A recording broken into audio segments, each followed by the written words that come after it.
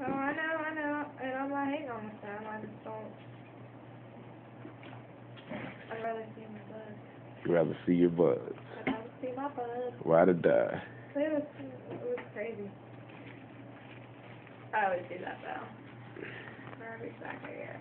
That's right.